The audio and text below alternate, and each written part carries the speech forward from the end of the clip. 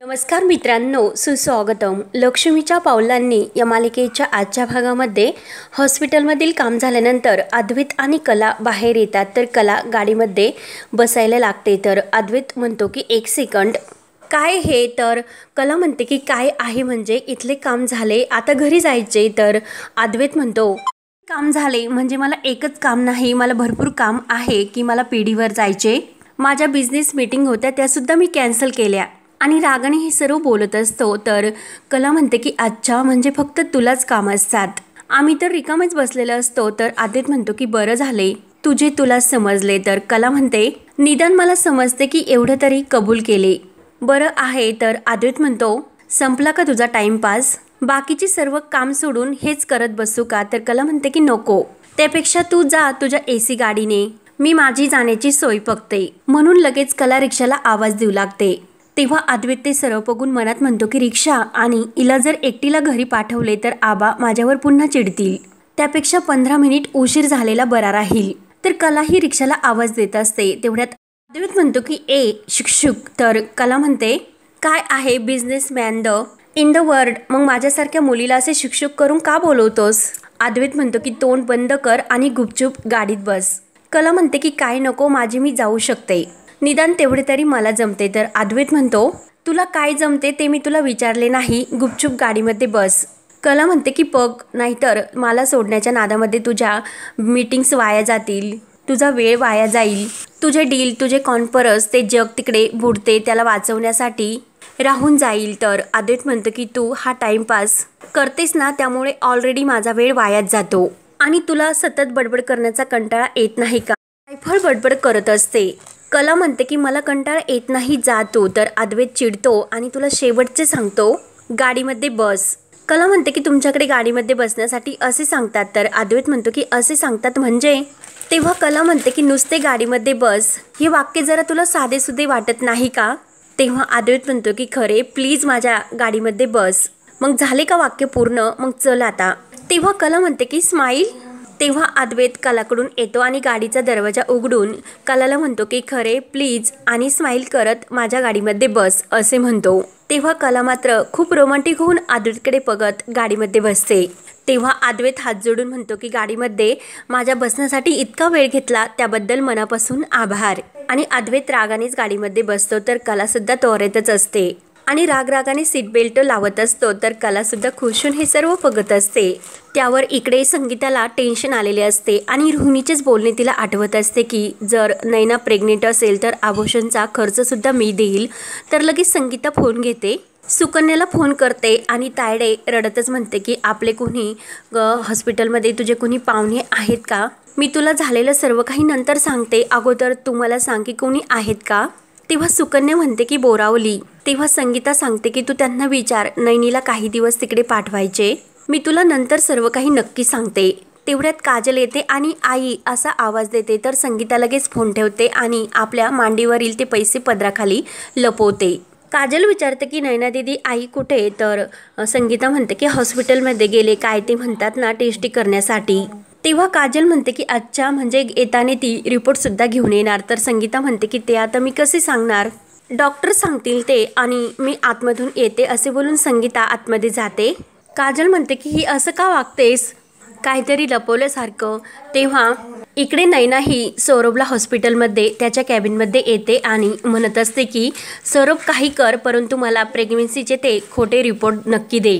तेव्हा सौरभ हा नैनाला म्हणत असतो की अगं मी तुला जर खोटे रिपोर्ट दिले तर माझे लायसन्ससुद्धा हे कॅन्सल होऊ शकते. तेव्हा नैना म्हणते की असे जर काही झाले तर ती जबाबदारी माझी. सौरव म्हणतो की अगं नैना माझ्या सर्व रेप्युटेशनची वाट लागेल. तर नैना म्हणते की शेवटी काही झाले तरी आपल्याला दोघांना एकत्र यायचे. तेव्हा सौरव म्हणतो की हे पग नैना आपल्याला एकत्रच राहायचे मग आपण एकत्रच राहूयात. कशाला यातीमध्ये वेळ वाया घालते? नैना म्हणते की हे पग सौरू माझ्या सेल्फ रिस्पेक्टचा प्रश्न आहे. आज जर हे रिपोर्ट नाही मिळाले तर मला जीव देणे वाचून दुसरं कोणतंही ऑप्शन उरणार नाही. तेव्हा सौरभ म्हणतो की मी तुला अजून काही मदत करू शकतच नाही. तेव्हा नैना पुन्हा त्याला म्हणते तू तर मला म्हटला होता की तुझे माझ्यावर खूप प्रेम आहे. मग माझ्यावरच्या प्रेमासाठी तू इतकं नाही करू शकत आणि जर मी आज त्या चांदेकरांना रिपोर्ट नाही दिले तर ते माझ्याबरोबर काय करतील माहिती नाही. मला तोंड दाखवण्यासाठी जागा उरणार नाही. तू प्लीज मला समजून घे. तर सौरव म्हणतो की अगं नाही ना तूच मला समजून घे कारण माझ्या करिअरचा हा प्रश्न आहे. मी तुझ्यासाठी काही करू शकत नाही. मला माफ कर आणि सॉरी बोलतो. तर नाही खूप नाराज होऊन बाहेर निघून येते. त्यानंतर इकडे राहुलसुद्धा त्या नर्सला शोधत आलेला असतो आणि तेथील एका माणसाला विचारतो की त्या नर्स कुठे आहे? तर तो माणूस म्हणतो की नर्स तर खूप आहेत कोणत्या नर्स लागतात? तर राहुल म्हणतो की शिंदे. तेव्हा तो माणूस म्हणतो की त्यांची ड्युटी संपली त्या घरी गेल्या असतील काही काम होते का? तर नैना त्याच वेळेस राहुलच्या मागून येते आणि राहुलला बघते. तेव्हा नैना विचार करते की हा तर मगाशी निघून गेला होता मग हा परत का आला असेल? आणि हा येते काय करतो? याच्या डोक्यात नक्की काहीतरी प्लॅन तर नसेल ना? राहुल त्या माणसाला म्हणतो की अशी कशी त्यांची ड्युटी संपली? म्हणून तो टेन्शनमध्ये येतो. तर त्या माणसाला तो जायला सांगतो आणि नैनाही राहुल समोर येते. तेव्हा नैना राहुलला विचारते की तू येथे काय करतोस? तुझी तर खूप महत्त्वाची मीटिंग होती. तर राहुल म्हणतो की होती.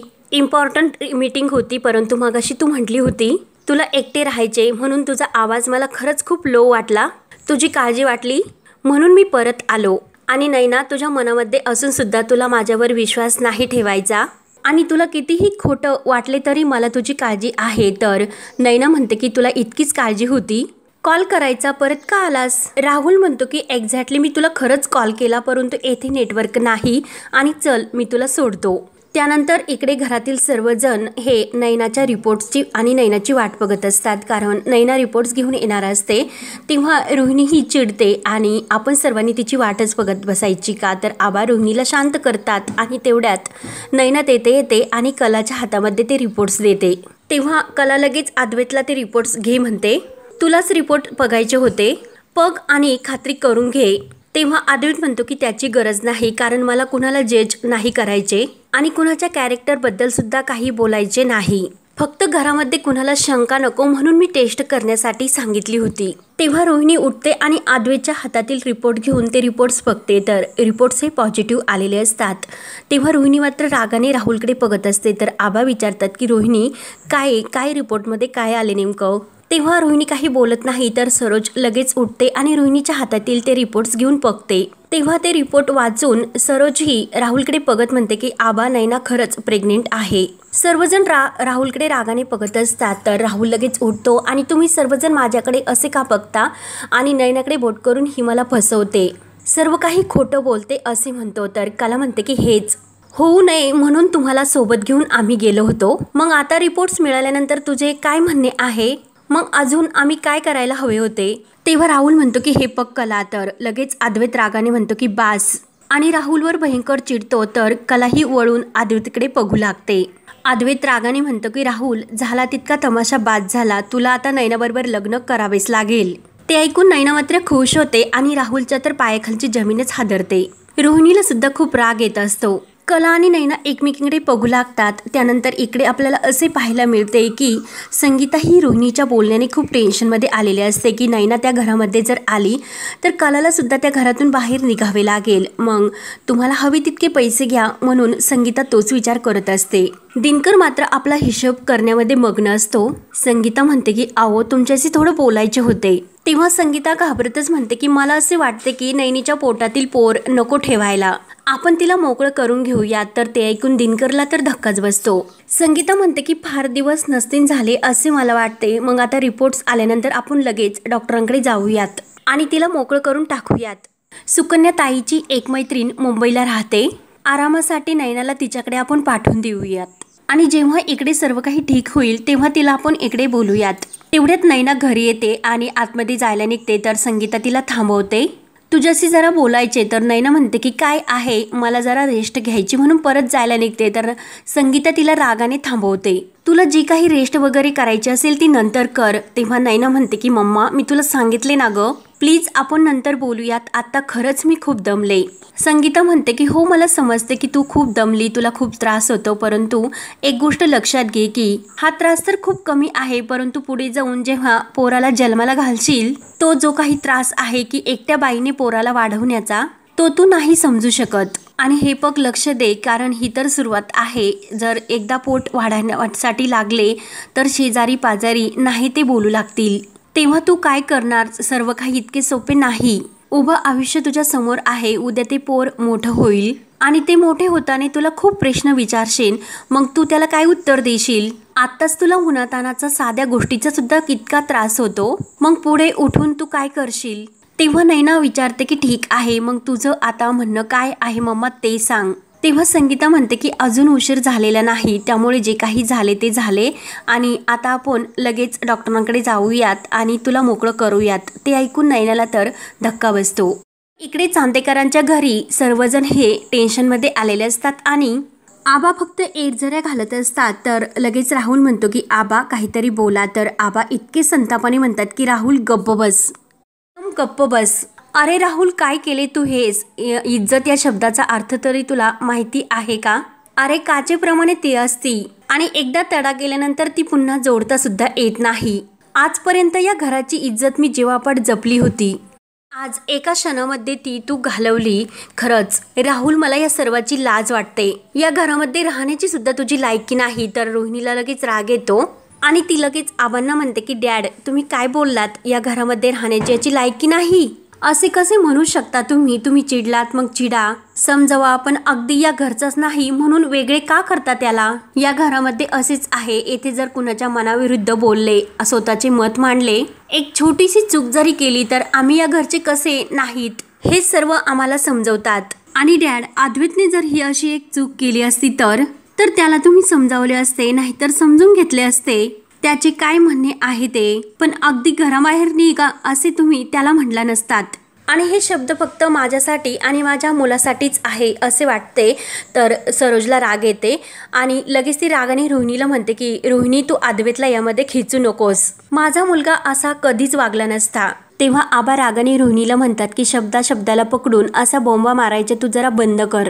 तुला तर माहितीच आहे की या घरामध्ये मी सर्वांना समान वागणूक देतो आणि आहे अद्वैतकडून माझ्या जास्तच अपेक्षा आहेत.